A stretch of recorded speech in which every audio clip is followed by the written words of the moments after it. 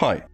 Today our topic is load balancing. The primary purpose is to prevent a single interface from getting overloaded and possibly breaking down while providing high availability.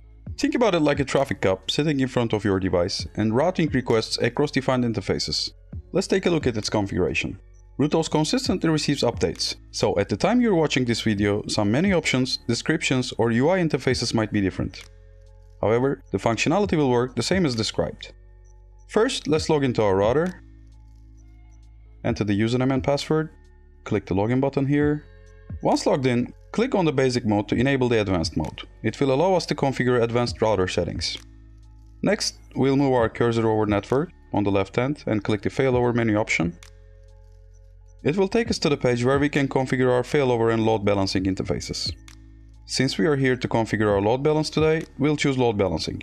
Configuration logic is pretty simple. You assign ratio values to the interfaces which represent the percentage of load that will go through. For example, if you give 3 to the mobile and 2 to the wired, Let's say we have 4 computers, with 50 total connections going to the internet. With the load balancing settings we have just set, roughly 60% of data connections will go through the mobile interface, and 40% through a wired. As simple as that. Next, click on the toggle button to turn on the interfaces. Be sure to click Save and Apply after you change your configuration. If you want to modify the default settings, click on the Edit button. You'll find more settings. Default configuration is pretty efficient. I'd suggest to leave it as it is. But if you want to know more about each option, just move your cursor over each rule and you will get the information.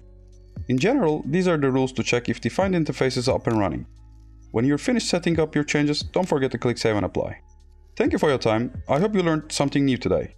If you have any further questions, please leave a comment or check the links in the video description for more information.